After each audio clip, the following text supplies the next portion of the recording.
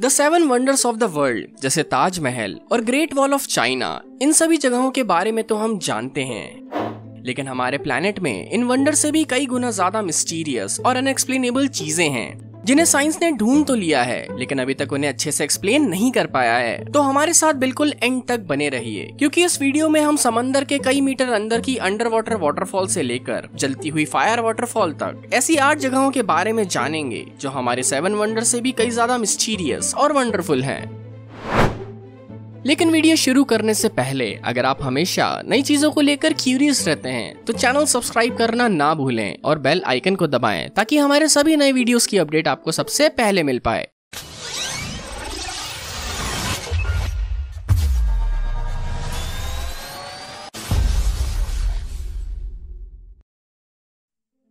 Number one sea of stars Maldives Maldives के वारू island पर रात होते ही लहरें चमकने लगती हैं और ये नीली रोशनी ऐसी दिखाई देती है जैसे पानी में तारे चमक रहे हों। और केवल लहरें ही नहीं, बल्कि इस बीच के पानी में चलने पर या इसे छूने पर भी ये पानी नीली रोशनी के साथ चमकने लगता है।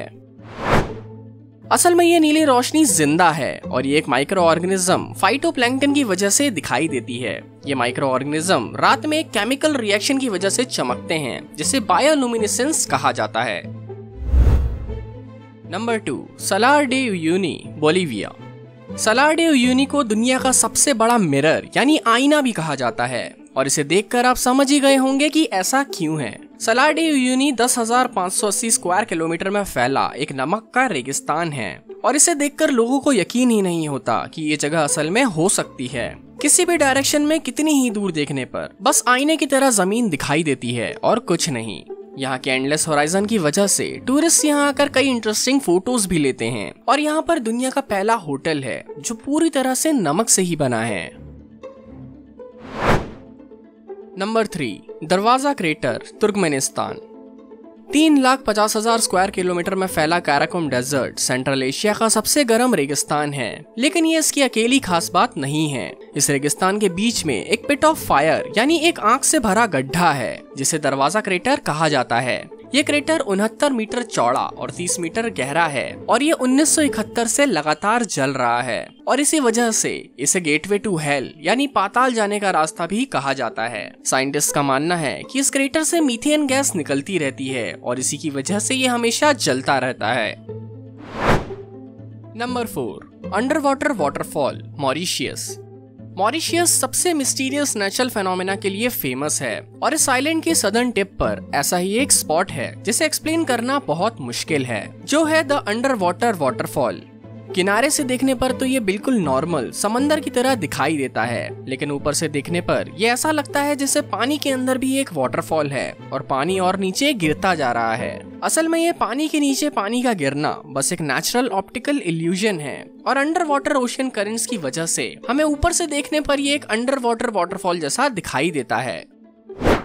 Number five rainbow rocks China China के जांगिए नेशनल पार्क में कुछ ऐसे पहाड़ हैं जो आपको दुनिया में कहीं और नहीं मिलेंगे।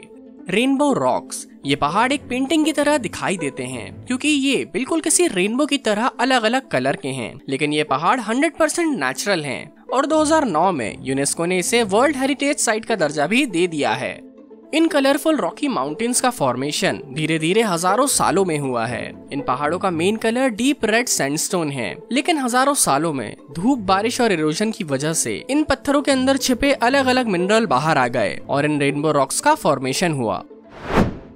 Number six horse tail waterfall Yosemite California के योसेमिटी नेशनल पार्क में विंटर सीज़न खत्म होते ही शाम के समय एक ऐसा नज़ारा दिखता है, जिसे देखकर आपको अपनी आँखों पर यकीन ही नहीं होगा। शाम होते ही योसेमिटी की वाटरफॉल को सही एंगल से देखने पर ये ऐसी दिखाई देती है जैसे इससे पानी नहीं, बल्कि आग गिर रही हो। और इसीलिए इसे फायरफॉल या योसेमिटी फायरफॉल भी कहा जाता है। लेकिन इस वाटरफॉल से गिरती ये आग भी बस एक नेचुरल ऑप्टिकल इल्यूजन ही है। जब इस वाटरफॉल से गिरता पानी शाम होने के बाद सनलाइट को रिफ्लेक्ट करता है तो ये पानी चमकने लगता है और इसे देखने वालों को ऐसा लगता है कि ये पानी जल रहा है। Number seven pink lake Australia western Australia के गोल्डफील्ड एस्पेरेंस रीजन में एक स्पेशल लेक है, जिसे बबलगम लेक या पिंक लेक कहा जाता है। और इसे देखकर आप समझ ही गए होंगे कि ऐसा क्यों है। 60 मीटर लंबी और 250 मीटर चौड़ी इस लेक का पानी पूरी तरह से पिंक कलर का है। और ऐसा पानी दुनिया में कहीं भी नहीं है। इस लेक का पिंक कलर असल में इसके अंदर के एक स्पेशल बैक्टीरिया ड्यूनालीला सलीना की वजह से है। ये microorganism special pink colour pigments produce करते हैं, जिससे इसका पानी पिंक हो जाता है। और इंटरेस्टिंग बात यह है कि ये सेम पिगमेंट गाजर में भी होता है। Number eight Nazca lines Peru southern Peru के सूखे रेगिस्तान में 300 से भी ज़्यादा जाइंट फिगर्स बने हुए हैं, जो 1000 किलोमीटर के एरिया में फैले हैं। इन फिगर्स को नेस्का लाइंस कहा जाता है, और एक्सपर्ट्स का मानना है कि ये 200 बीसी और 300 एडी के बीच में बनाए गए। लेकिन ये कैसे और क्यों बने, ये कोई नहीं जानता। और ये आज तक दुनिया की सबसे बड़ी मिस्ट्रीज में से एक बने हुए हैं।